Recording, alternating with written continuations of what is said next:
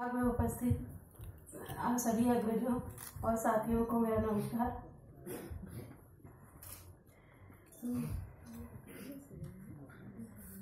मैं आभारी हूँ भारत भवन न्यास की, जिसने मुझे कुछ, आज के समय के कुछ महत्वपूर्ण कवियों के साथ ये काव्य पाठ का मौका दिया है। मेरी पहली कविता है अभिनय। पेट्रोल पंप पर मिला वह एकदम तपाक से उसकी आँखों में अपनेपन की चमक थी।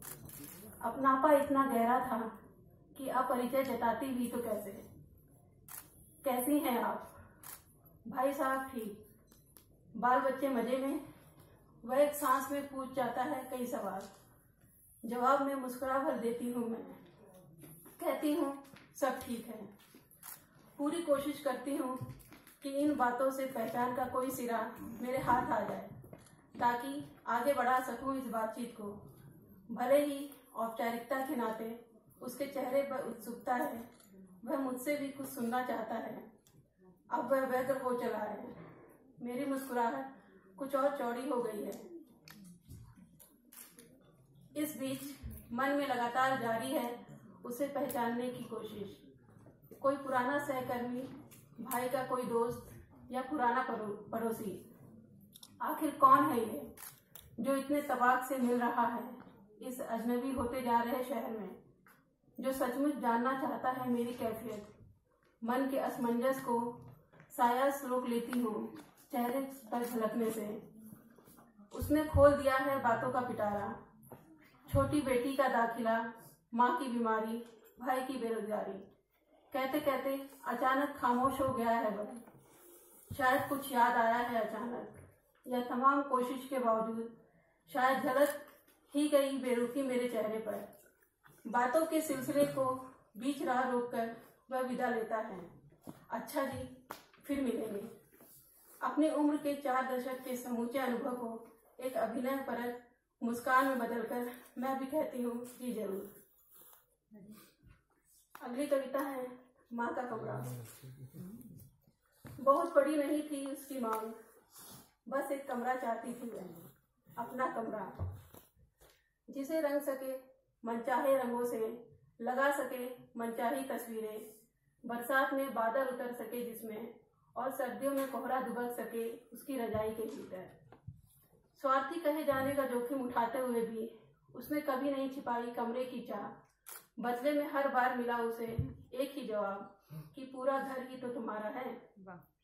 उस भरे पूरे घर में जिसे बताया गया उसे उसका वह रही पिता भाई और जीवन साथी के साथ।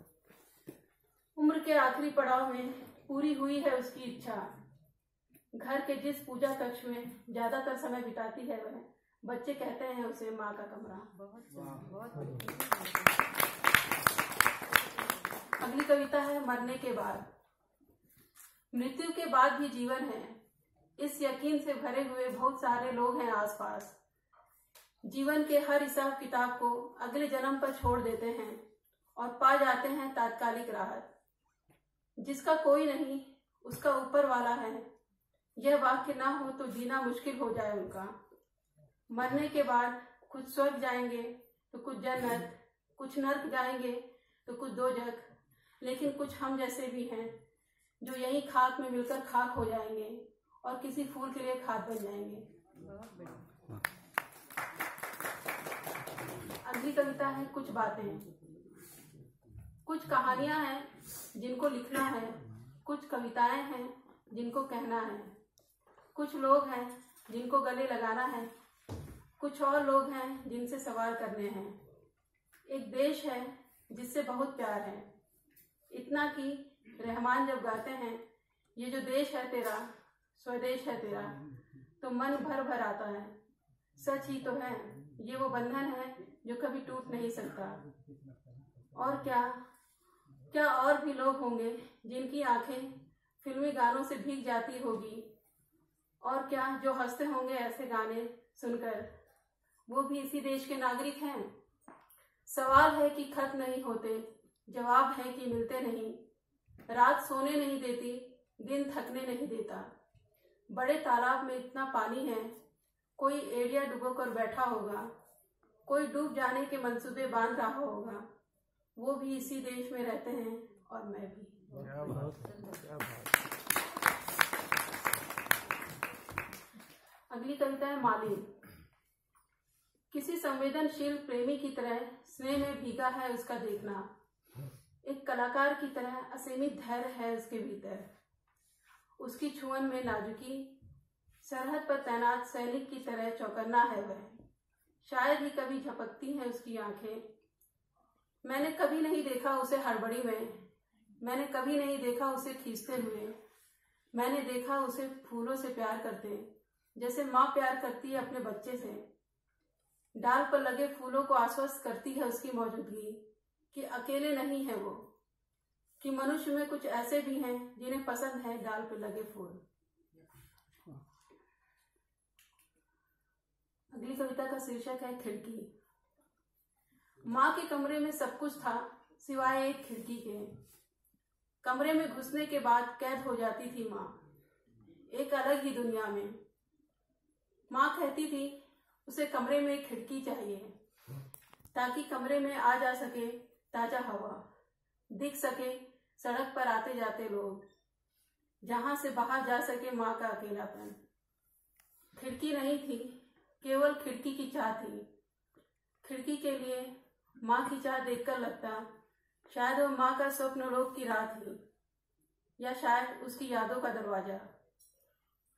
बंद कमरे के बाहर से छन छन कर आ ही जाती थी कुछ आवाज़ें।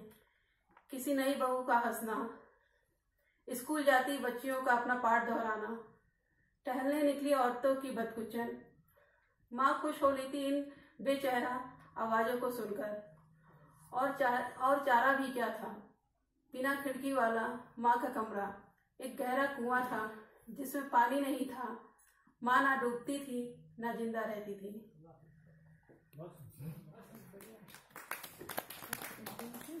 अगली कविता है, दादी की याद, उर्फ़ इस मछली का क्या नाम है?